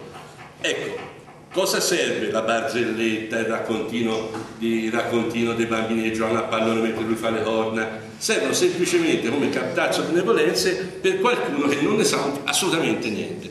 Quest'uomo è tanto simpatico, eh, quasi quasi voto questo. Cioè, diciamo che è un una specie di chiamata alle armi della massaia tipo italiana che non sa assolutamente niente di niente e quindi può essere, può essere accalappiata da, dal primo venditore di tappeti o incantatore di serpenti che passa. Ora, anche però a questo c'è un limite, perché la cosa tende a funzionare fino a un certo punto, e fino a un certo punto è la credulonità o, la, o, o, o l'attendibilità de, de, della cosa, cioè è evidente che Faccio un esempio, il Presidente del Consiglio, a uno degli ultimi porta a porta, ci ha raccontato che figuriamoci se lui faceva le corna al suo amico Pilares o come si chiamava davanti. In realtà lui, visto che aveva giocato a calcio con alcuni bambini in quel cortile fino a pochi minuti fa, quando poi l'hanno chiamato una foto e visto che questi bambini facevano dei gestacci, voleva dire bambini non fate le corna perché non sta bene. Questo l'ha raccontato due volte, una volta a porta a porta e una volta dall'altra parte. Ora, evidentemente, visto che tutti noi siamo gente che in qualche modo vive nel mondo, eh, l'occasione di quella foto famosa con Berlusconi che fa le corna al ministro davanti era una riunione dei ministri degli esteri della comunità europea in un castello spagnolo. Allora, ve lo immaginate che nel cortile del castello spagnolo, mentre tutti i ministri della comunità europea sono lì per la chiusura del convegno, ci siano dei bambini che giocano a pallone e un ministro settantenne italiano, cioè il presidente Berlusconi, si mette a giocare a calcio con i bambini, vestito con, con il doppio petto Caraceni che porta sempre, ve lo immaginate una cosa del genere? Ecco, questa è chiaramente una cosa da ufficio stampa, anche se mi permette di basta Lega. Quindi evidentemente questa è una idiozia qualsiasi e ci viene raccontata perché ce le beviamo tutte. Perché, come ci disse una volta, ci giudica all'altezza dei bambini della quinta elementare. Cioè il popolo televisivo, secondo Berlusconi, secondo il Berlusconi pensiero, ha l'ampiezza culturale di un bambino deficiente di 11 anni. Questo detto tra virgolette, non lo sto dicendo. Che? Quello che dice Berlusconi sì. Lui dice un bambino di 11 anni deficiente, questa è una citazione per cui ecco, evidentemente questo rispetto alla mia analisi politica del, del, dell'evento gli fa perdere molta credibilità. Perché se mi racconta una balla su questo, figuriamoci quando mi snocciola tutti i numeri a, a macchinetta. Che cosa mi sta raccontando? Che ne so? Cioè quando vado a verificare un fatto che è truffaldino, poi tendo a attribuire la stessa truffaldinità anche a tutto il resto. Può darsi che non lo sia, però è anche probabile che lo sia. L'uomo è questo. Evidentemente posso fare lo stesso discorso qualora ce ne abbia le, le, la prova controprovata su tutti gli altri. Quindi la mia, la mia opinione, che non è del tutto favorevole, come, come ho detto e come avete capito, al, a, a Alleanza Nazionale o affini, però non mi permetterei mai di dire che quello che mi racconta Fini sia una truffa, sia una bugia, perché non lo so, perché mi sembra, può darsi anche sia credibile. Do una valutazione politica di quello che mi dice Fini e non mi piace, però è una, è una, è una cosa diversa, questa è una mia opinione, non è un fatto, mentre invece il fatto che i bambini non giocano a pallone davanti ai ministri della comunità europea, questo è un fatto.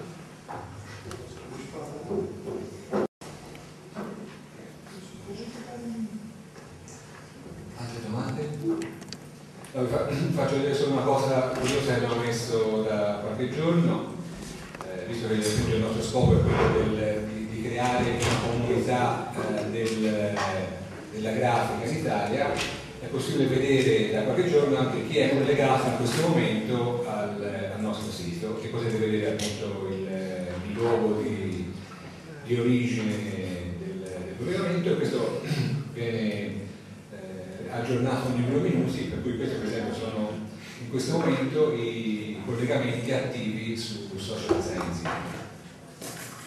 Però a San Marino non c'è nessuno. Come?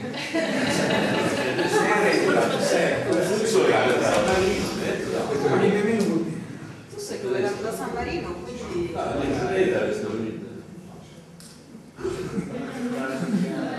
Beh, questa è una prova che stavamo dicendo delle menzogne. Berlusconiani.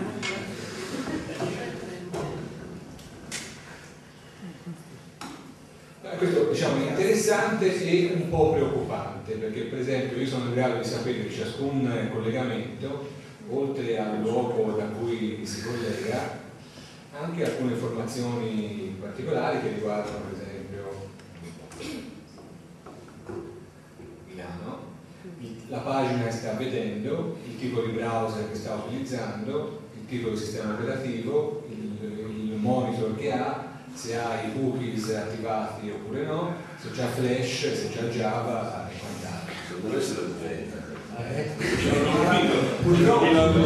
difende. Purtroppo è reale, si può fare, si può fare, no? Non c'è la privacy, no? No, qui manca diciamo, l'elemento fondamentale che è sapere chi è la persona con il numero di telefono, però diciamo, sul server, sui log del server esiste anche questo. Questo, questo qui, questa che non è che è una cosa che noi diciamo così, che sta Mio figlio, quando abbiamo fatto la cosa sul programma attaccato di Berlusconi, è stato preoccupato per due o tre giorni. Mio figlio è adulto, ha 34 anni, quindi è uno che dovrebbe essere già strutturato, con la paura che, Berlusconi ci mandasse la Guardia di Finanza a controllare i nostri studi. Dicevo che non è tutto, eh, cioè era una paura, devo dire secondo me del tutto immotivata, ovviamente, però l'idea che questo, possa, che questo meccanismo possa instillare in qualche modo un controllo e possa farti credere che sia possibile è comunque preoccupante. Cioè questo che dicevo da Gianni era esattamente questo. Cioè questo è una specie di grande fratello orwelliano, non di Canale 5, di grande fratello che comunque ti può controllare in qualche modo ti può controllare, quindi renderti in qualche modo meno libero, quindi non più libero come noi diciamo si può essere perché tutti voi ci potete raccontare quel che volete lì sopra, ma in qualche modo perché ti obbliga a un controllo sociale. Diciamo ecco che se invece di mandarlo in rete lui dal suo studio, l'avessi dovuto mandare in rete io, quello sul Berlusconi craccato, mio figlio si sarebbe, che lavora con me, che uno dei grafici del mio studio, si sarebbe in qualche modo opposto, avrebbe trovato molto da eccepire, avrebbe avuto paura. È stato sopito più o meno, ma non completamente, dicendo ma tanto lo mandano loro e quindi al più al più più da parte da loro. Questa è la responsabilità. No, però tutte queste cose sono ovviamente fatterelli irrilevanti e sono semplicemente aneddoti a spicciola, però ti racconta molte cose in filigrana di quello che succede su, su tutto ciò, perché in realtà te ne racconta tante non è che è tutto così eh, in qualche modo la stessa pappa e comunque si, si, si riesce a, a rappattumare. Cioè in realtà mio figlio quella notizia non l'avrebbe data, avrebbe avuto paura. Mi potresti dire Ah, scusa. Dopo tre anni, mi potresti dire quale per te è come dire, la, la, l'achievement, il risultato più importante che eh, di aver ottenuto con questo progetto? La risposta dei giovani, la, la risposta dei grafici, la non risposta? Eh, avete capito quali sono per esempio gli interessi sociali più, più eh, vicini, cioè più, più sentiti? Io sarei curioso sapere a, quali, a quale tipo di notizie voi avete più risposte o meno risposte. Da questo punto di vista, per esempio, i commenti sono, sono fa- facili da individuare. Il, diciamo, il maggior numero di commenti si accenta sui post particolarmente politici.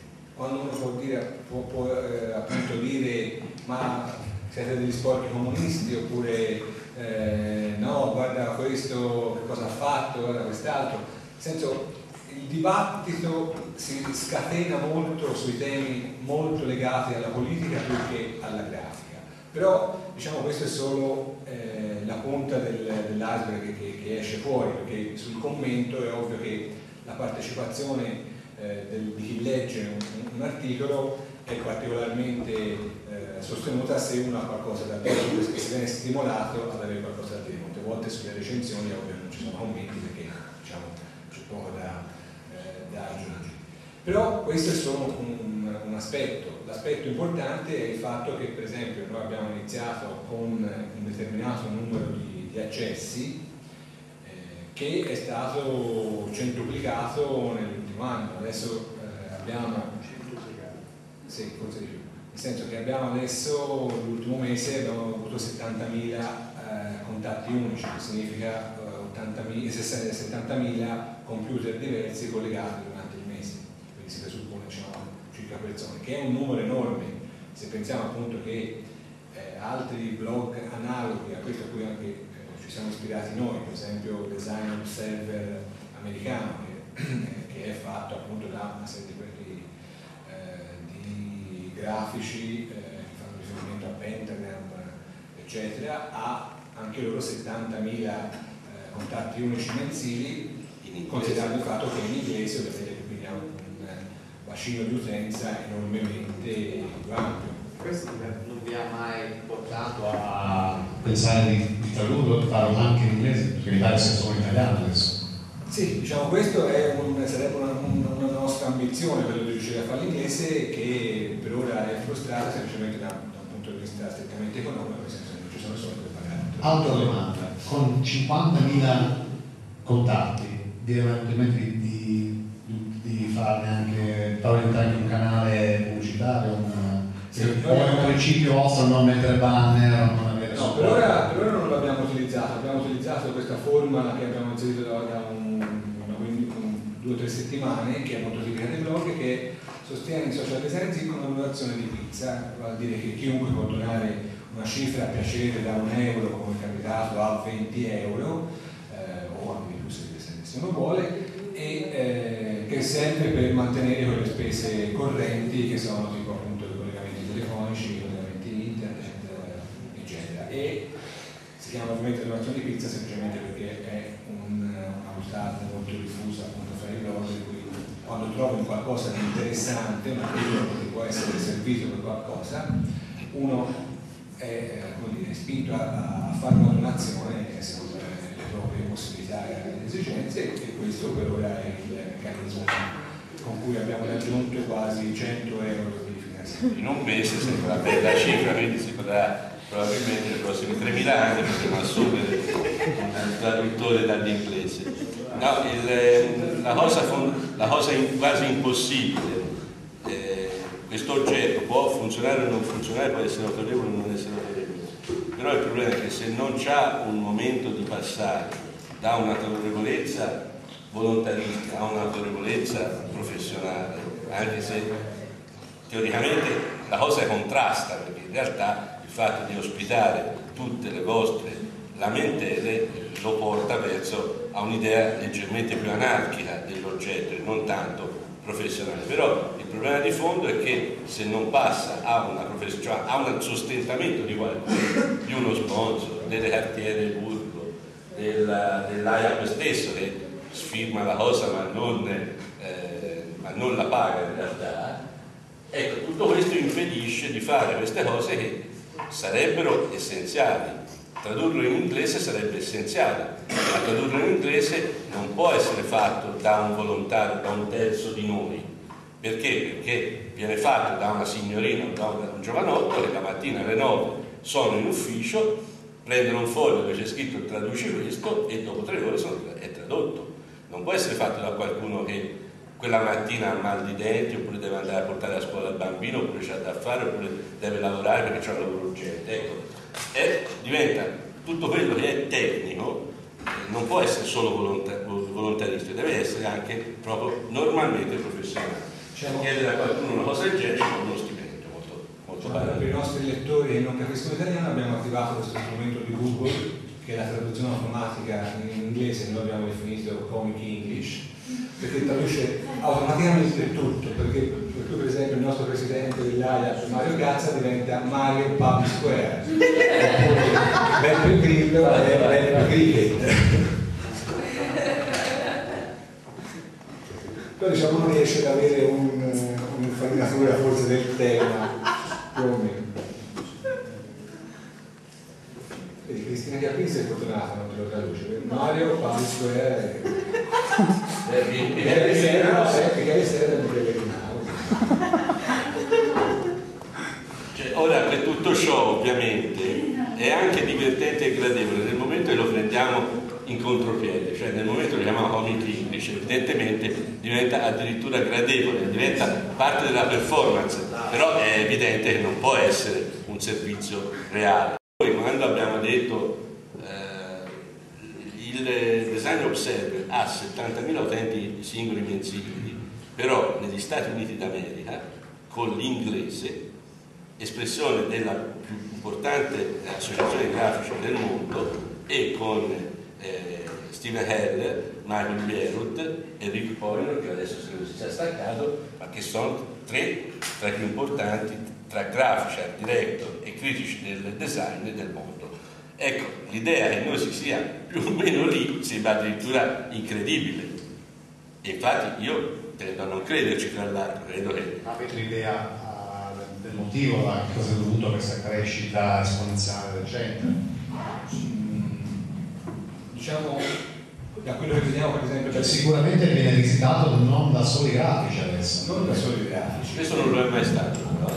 non è mai successo. Almeno Diciamo, quello che vediamo dalle statistiche, sicuramente una, un motivo di attrazione è la quantità di materiale che adesso fa parte dell'archivio di social design, nel senso che in questi tre anni di attività tutto il materiale che è stato prodotto è rimasto eh, assolutamente disponibile in rete, per cui con per esempio il motore di ricerca interno è possibile rintracciare qualunque testo che è stato eh, pubblicato su quel eh, determinato tema e quindi diciamo, questo è un, un, aspetto che attira molto perché permette per fare ricerche o rintracciare documentazione per, per quello che riguarda molti dei temi del, della comunicazione fisica. Bene, già, eh, volete far vedere ancora altre cose o perché siamo ormai alle quattro e mezza, quindi forse è ora di... Ci sono delle ultime domande? No? Io vorrei solo, mm, mi piacerebbe chiudere con una, un punto interessante, eh, una domanda importante per me. Quanto è importante per voi, sicuramente tantissimo immagino, ma ehm, l'essere informati, cioè per questi giovani designer, che siano grafici o design industriale, l'importanza dell'informazione, di essere al corrente di quello che succede intorno a noi nel, mondo. Quanto è, quanto è importante, come bisogna fare per, per essere, essere informati? Eh, bella domanda.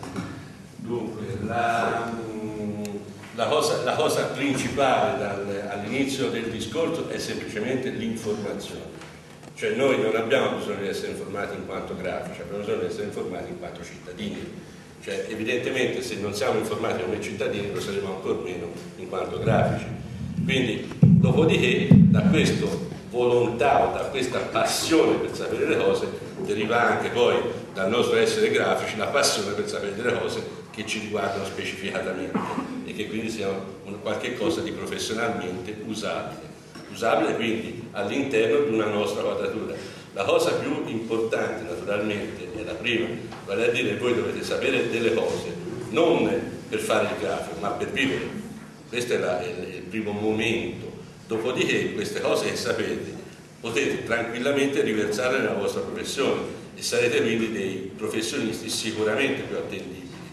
Cioè l'idea del professionista che sa solamente quello che riguarda come si accende e spenge il computer, come si usano i programmi, è un'idea ovviamente imbecille perché in quel modo lì sarete sempre dei cittadini comunque di serie B e quindi dei grafici di serie B. Il problema non è che voi siate molto bravi come grafici, ma se siete molto, molto bravi come cittadini, avete opinioni molto forti, sarete sicuramente qualcuno che nella sua società ha una parola, ha un'opinione, ha un pensiero, determina questo pensiero a seconda della situazione in cui è, se no sarete sicuramente tagliati fuori da quasi tutto.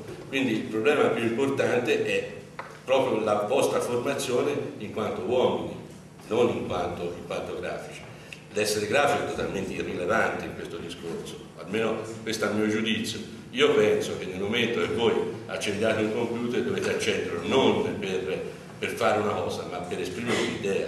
Qualora anche questa idea sia semplicemente la commessa di un datore di lavoro che vi chiede una cosa, però in quella voi mettete la vostra personalità. Quell'opinione si, tras si trasforma in un progetto grafico che dice qualcosa non solo di voi ma della vostra idea del mondo.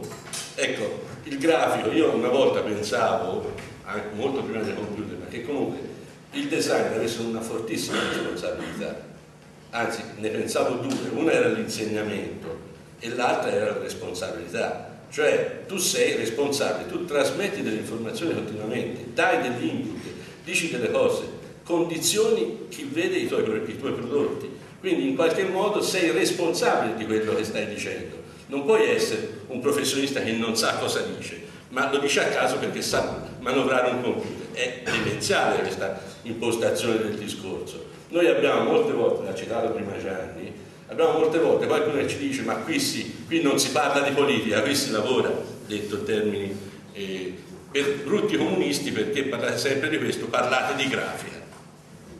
Cosa vuol dire? vuol dire semplicemente noi dobbiamo, dobbiamo, insegnare come si accende un computer, qual è l'aggiornamento di Friendo, di Illustrator, questo è quello che si chiede alla nostra coscienza di grafici responsabili. Io mi rifiuto, a me non ne importa assolutamente se c'è l'aggiornamento a Photoshop. Benissimo, qualcuno piacciono queste cose, le guarderà, ne sarà ben contento, io le userò quando mi arriveranno sul mio computer, ma non ho nessun interesse su quello. Invece l'idea, una cosa che io non sapevo, l'esistenza di una tribù Cherokee che, che, che, vestiva in quel modo, che, un, che ha, ha, costruito un, un, suo alfabeto in quel modo, che ha scritto un giornale in quel modo, che è stata distrutta da un'altra civiltà che gli si è sovrapposta fisicamente, mi interessa molto e mi interessa molto di più come uomo che non come grafico. Dopodiché, visto che la storia della tipografia, la storia dell'alfabeto sono qualcosa che mi interessa anche professionalmente, Certo che mi interessa anche come grafico, però non, non, non, escludo la prima parte del discorso perché la socialità è qualcosa che contiene la grafica e non viceversa. Il, quelli che ci dicono parlate di grafica e non di politica evidentemente saranno con tutta probabilità dei pessimi grafici e dei cittadini pochissimo informati. Io ho l'opinione che tutte le volte quando sentiamo parlare un grande grafico generalmente sa tutto anche del resto perché? Perché, perché prima è un uomo, prima è un essere pensante, dopodiché diventa un professionista. Professionista molto bravo a fare il suo lavoro, ma totalmente ignaro di tutto il resto, francamente non credo che esista, o perlomeno non dovrebbe esistere nel nostro settore. Questa è una mia opinione, quindi lascio a voi tutte le vostre. Dire una cosa, anche in base a quello che ha detto adesso. Se ad esempio un grafico viene dato una commessa a un lavoro in cui si chiede di fare una cosa, però il suo pensiero è totalmente al contrario, diciamo, socialmente parlando, quindi non so, una pubblicità che per lui è negativa, che può far male. C'è chi la rifiuta. come si... Non, non c'è un modo di è un sul modo del tutto, questo non è ovviamente, non c'è un modo di giudizio. Cioè, certo, se tu fai la pubblicità alle camere a gas, c'è anche un gran giurì della pubblicità che ti caccia dall'ordine magari. Questo, però se tu fai una pubblicità alla Coca-Cola mentre eh, i no global vogliono che la Coca-Cola sia boicottata, questa ovviamente è una tua scelta. Eh, io personalmente non farei, non farei la campagna elettorale di Forza Italia di Alleanza Nazionale, nel senso che grazie a Dio succede c'è una divaricazione di interesse eh, comune per cui Alleanza Nazionale non mi cerca e io non la farei, quindi siamo paritetici, nel senso che non, ci, non incrociamo le nostre vie, quindi non abbiamo nemmeno imbarazzo della scelta.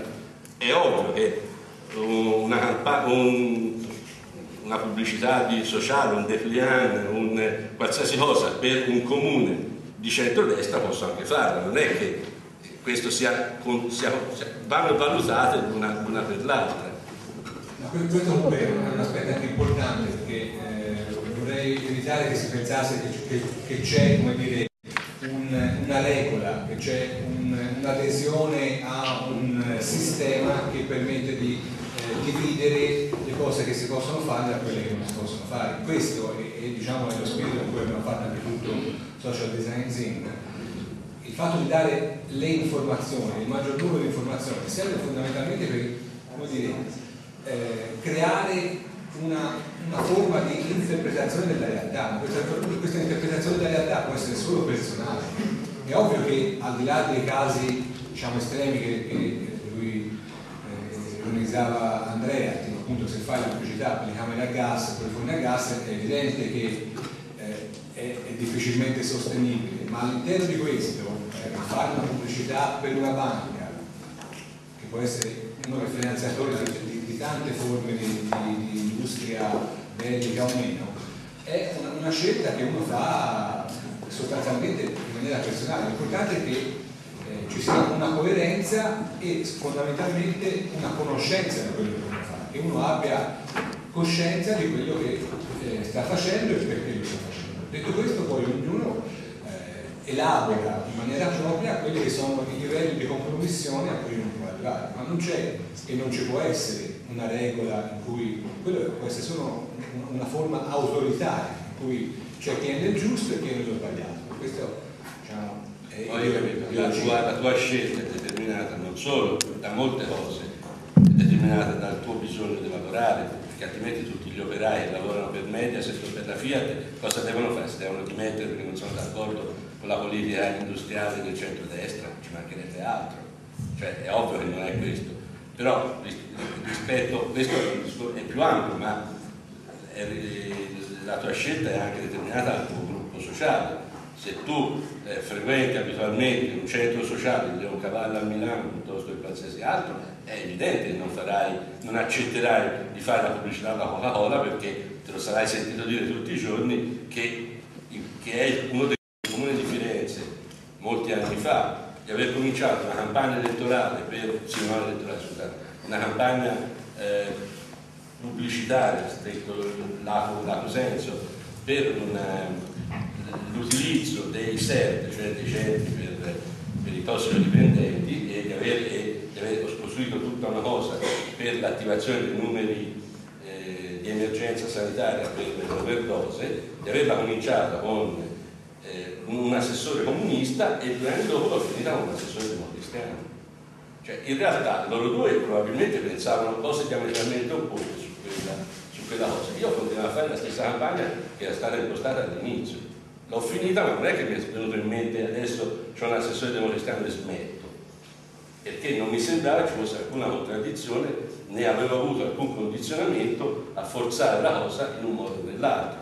Con tutta probabilità se l'assessore democristiano mi avesse fatto variare l'impostazione, quindi invece che rivolgersi ai CERT, cioè alla mano al, al- al- al pubblico, mi avesse detto che d'ora in poi si deve fare una campagna mettendo come numero, come numero di riferimento e come modo di intervento San Patrignano, con tutta probabilità forse avrei smesso, perché in quel caso lì aveva dato un'informazione che non mi sembrava politicamente e socialmente concorde con quanto io pensavo. Però in realtà poi non sono nemmeno così sicuro che sia possibile, poi i problemi vanno in qualche modo analizzati sulla realtà e non tanto sull'idea.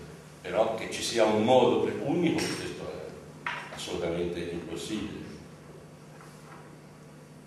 Io non voto per Prodi, per esempio, ma ho disegnato il marchio dell'Ulivo.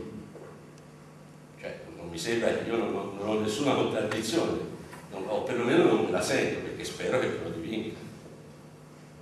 Avete perso, non dopo? No, si è vinto, Carlo. Siamo stati gli unici. Visto, visto, che il tema è abbastanza caldo, voi avete, dovete scappare, posso fare ancora una o due domande? Ok, diciamoci, mettiamoci a direttore Morpurgo, in fondo. No, io ho da tanti anni che discutiamo. Eh, l'andamento finale della discussione emerge quasi sempre e devo dire mi spaventa molto d'accordo anche con la risposta che poi ha dato Andrea sul fatto che cioè, per essere separato netto diciamo, le, le, idee che ha una persona dal problema della grafica sociale o del fake rischia di essere equivoco il fatto che eh, è sociale la grafica che fa la campagna no, della sinistra e non è sociale la grafica cioè, sembra inocente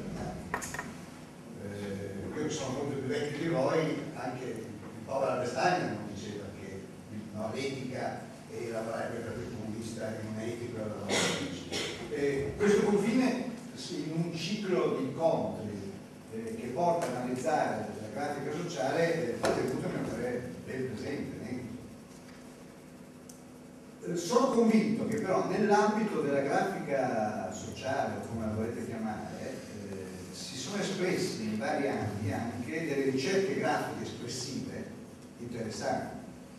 Ci sono vari momenti storici in cui questi contenuti particolari, che allora si chiamavano grafiche di utilità o di altro genere, hanno espresso no, delle, delle forme espressive interessanti, delle ricerche grafiche più specifiche, più disciplinari, siamo interessanti.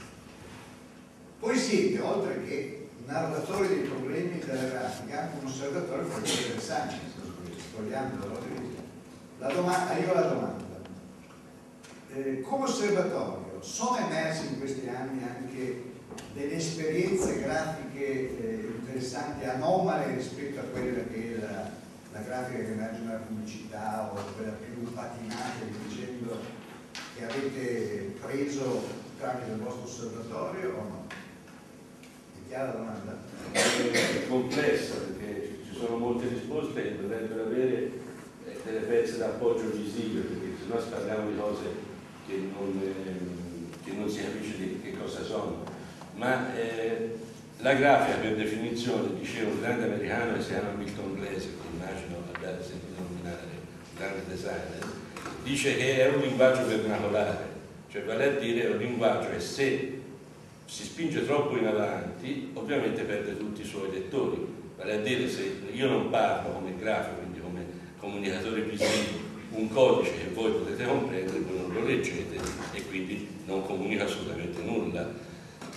Questa è una cosa che è successa a molta grafica, in qualche modo d'avanguardia negli ultimi anni, a David Carson piuttosto che a Tomato inglesi Why Not, cioè tutti i gruppi d'avanguardia in qualche modo creano della grafica per delle, piccole, per delle piccole comunità anche di vendita, ma non sono interessati ad avere un linguaggio che in qualche modo possa essere comprensivo da tutti, o perlomeno avvicinabile da tutti. Quindi c'è una separazione, questo caso la grafica in qualche modo si racchiude su se stessa, sceglie una sua comunità, piccola comunità di riferimento, diventa totalmente vernacolare e taglia conti con il resto del mondo.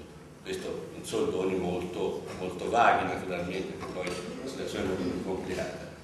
Ecco, in questo modo, in questo modo la grafica è al servizio di una cosa precisa ma non ha più, o di una piccola comunità precisa, ma non ha più diciamo, la tentazione che aveva quel signore che citava lui, eh, che citava Gard, cioè eh, Albert Stein, di essere comunque uno strumento di formazione di informazione, di, eh, di sedimentazione della problematica sociale. Albestein, che è un grafico morto nel 74, era un signore che ha fatto il partigiano nella prima parte della sua vita, eh, dopodiché ha fatto il grafico del Partito Comunista finché non è morto, ma contemporaneamente essendo un rigoroso intellettuale e un grande grafico lavorava anche nell'industria e quindi cercava di trovare comunque un sistema grafico, un sistema di comunicazione che fosse non dico nazionale popolare, ma che fosse comunque fortemente comprensibile da, da, chi doveva seguire il suo messaggio. Quindi i suoi caratteri erano caratteri leggibili, erano le sue informazioni, le informazioni che dava erano informazioni nette, precise, in una quadratura in qualche modo comprensibile, eccetera, eccetera, eccetera. Questo era quello che lui pensava essere, dal punto di vista tecnico della comunicazione, una grafica di utilità sociale, che non applicava naturalmente solamente al manifesto per la festa dell'unità o per il primo maggio, ma anche e soprattutto ai manifesti per la Rinascente, per Borsalino, per i suoi clienti normali, cioè per quelli che vendevano le merci che dovevano comunicare con una comunità che si doveva in qualche modo raggruppare, stiamo parlando degli anni 50 anni 60, intorno a delle, a, a delle idee, degli strumenti, a dei modi di, di essere coesi precisi. Ecco, questo è un esempio di grande grafico di impostazione sociale, perché in qualche modo lavora in qualsiasi, in qualsiasi momento, e qui rispondo anche alla domanda di prima in, in, qualche misura, Albestani non si è mai sognato di dire che la rinascente, visto la fanno i padroni, non ci si lavora, ci mancherebbe altro. Lui ha sempre fatto l'una cosa e l'altra con la massima disinvoltura, ma applicando sua, il suo modo di pensare la grafica. E nel momento in cui parlava di politica, il suo modo e quello dei suoi committenti di parlare di politica tutto intero può essere ancora oggi giudicato una specie di prototipo dell'operatore culturale grafico. Lui intendeva il suo ruolo come quello di, un redattore grafico, non solamente come, come grafico. Lui fece una grande rivista per Einaudi insieme a Ennio Vittorini e insieme al Politecnico. Ecco, lì il grafico era seduto al tavolo della concertazione grafica e della concertazione della rivista insieme al direttore della rivista quindi era qualcuno per cui il fare grafico in un certo modo comunicava delle idee, delle idee che andavano a convergere con quelle della committenza che era Einaudi e della direzione che era il Vittorino della rivista. Ecco, in questo modo, adesso, nel momento in cui si arriva al fatto che io faccio la grafica e la capisco solo io, evidentemente tutto ciò passa su un altro piano. Secondo me passa sul piano semplicemente dell'espressione artistica, quindi è un piano totalmente diverso. La grafica è qualcosa che comunque ha bisogno di un codice di riferimento a cui una comunità, non dico del, del, assoluta, sufficientemente ampia si possa riferire, altrimenti diventa un vernacolo, ce la cantiamo e ce la suoniamo tra di noi.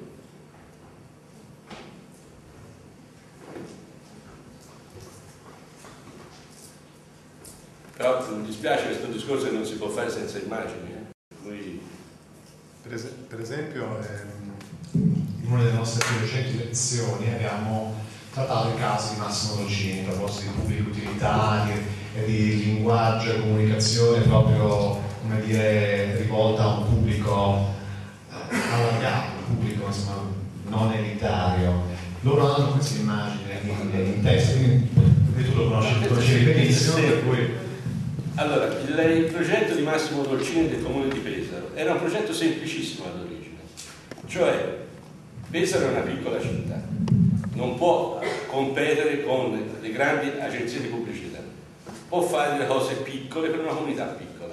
Allora, il problema dell'amministrazione è far sì che i cittadini, i cittadini amministrati abbiano un contatto continuo con l'amministrazione. Questo sto parlando dei primi anni 70 Gianfranco Mariotti, assessore alla cultura, e Massimo Dolcini, grafico all'epoca giovanissimo, pensarono questa cosa.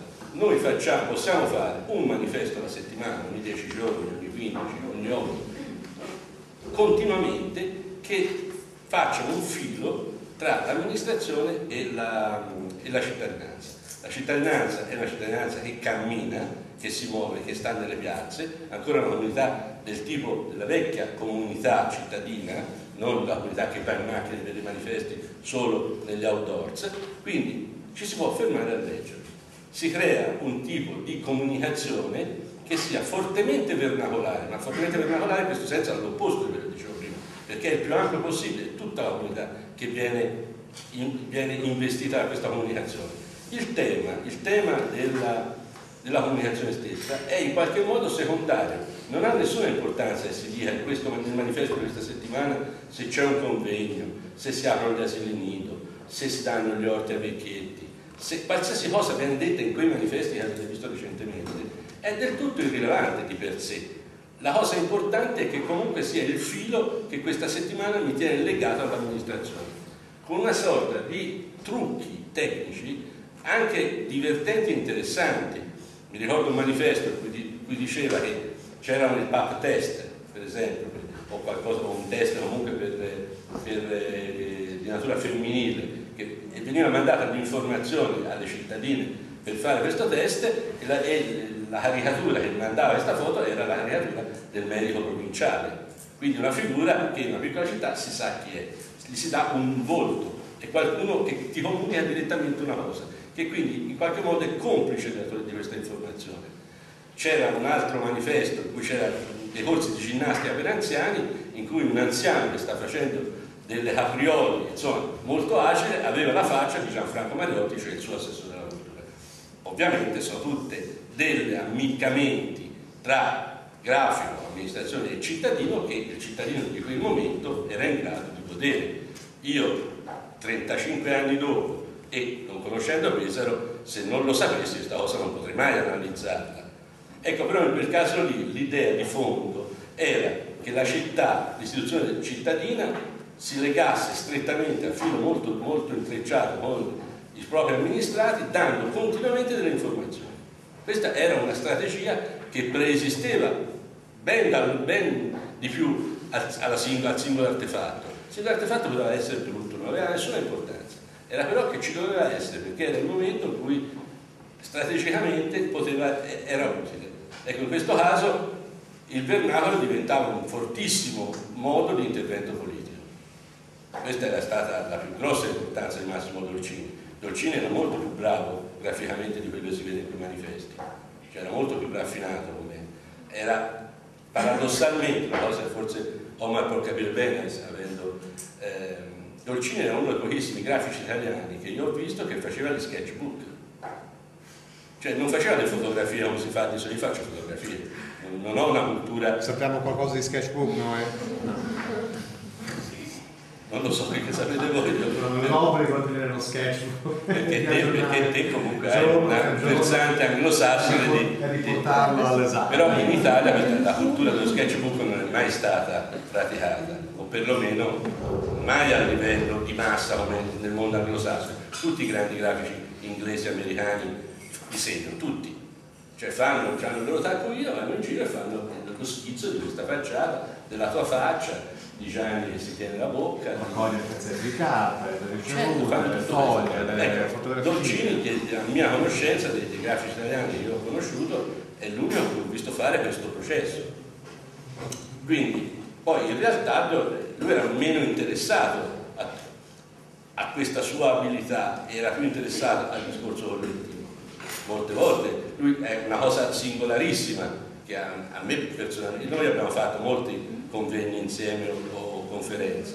Lui diceva, non so se è vero, ma penso di sì, lui prendeva le ultime 20 diapositive che aveva in studio, perché il suo discorso un discorso generale, non importava nulla perché faceva vedere, cioè non descriveva i singoli artefatti uno per uno secondo una logica del singolo oggetto, come facciamo anche noi generalmente. Ecco, lui prendeva questa roba abbastanza eterogenea, una del 70, una del 92, una dell'85, una dove si parlava di Majakowski, quell'altra si parlava delle tossicodipendenze Pesaro e faceva vederle, però facendo un discorso che legava tutto al, al, nel discorso generale. Erano semplicemente quelli delle cosine, tanto per fare delle figurine, come si diceva.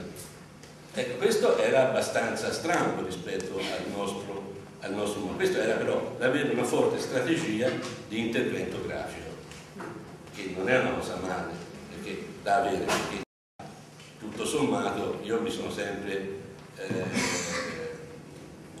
piccato di una cosa, vi invito a riflettere se ne avete voglia, quando qualcuno vi chiede, voi fate una cosa, un lavoretto qualsiasi, ci sarà sicuramente qualcuno che vi chiede, perché l'hai fatto? Ecco, se voi sapete rispondere a questa domanda, siete già su una strada buona. O darsi abbiate sbagliato tutto, avete fatto una porcheria. Non ci abbiate capito niente, però sapete perché l'avete fatto, sapete qual è il percorso del vostro pensiero per farlo. Questa è la mia personale valutazione. Quando uno non sa perché fa una cosa, o perché è bellissima, eh, mi garbava, oppure eh, mi andava, eh, oppure eh, mi piace così. Ecco, quando uno non sa far fuggire delle cose, perché non ha bene chiaro perché quale processo di pensiero ha attivato, molto spesso ha acceso Photoshop e ha trovato una funzione qualsiasi e su quella ha costruito un, un'ipotesi grafica. Però non è questo, in realtà qualsiasi strumento tecnico dall'asse al computer viene attivato dal pensiero. Il vostro pensiero è, quel, è lo strumento. Allora, la prima cosa da affinare è ovviamente la vostra capacità di riflessione progettuale. Nel momento la vostra capacità di riflessione progettuale è in qualche modo consapevole, voi sapete perché fate una cosa. Ed è un meccanismo, ve ne accorgerete poi se, se io mi auguro che tutti voi facciate eh, questo mestiere o ne, fa, o ne facciate uno simile, che lo facciate molto bene e per molti anni. Arriverete a un punto di professionalità per cui fate una cosa automaticamente. Dopodiché, quando qualcuno vi chiede perché, raccontate perché l'avete fatto. Perché diventa un metodo in qualche modo interiorizzato non è qualche cosa perché uno si mette al tavolo e pensa come lo deve fare, a un certo punto diventa una specie di riflesso automatico. C'era lì sullo schermo una vignetta di Vavo, che è la vignetta di ieri del manifesto. Ecco, se voi, voi vi sarete sempre chiesti, o almeno spesso, ma come cavolo fa Altan, Forattini, Vavo a fare una vignetta al giorno? Come fa? Bene, è il suo mestiere, lui le fa automaticamente, non ha nessun bisogno, può fare 10. Non ha, non ha bisogno di sapere perché, sa come si fa. Ha interiorizzato il metodo. Ecco, questo dovete, secondo me, in qualche modo arrivarci. Con ciò ci, arriverete per processo naturale, non ci arrivate domattina. Però la formazione della vostra coscienza di grafica di coscienza professionale è qualche cosa che a un certo punto vi farà maturare questo atteggiamento complessivo. Bene, io direi che di, di ringraziare con un bel applauso Andrea.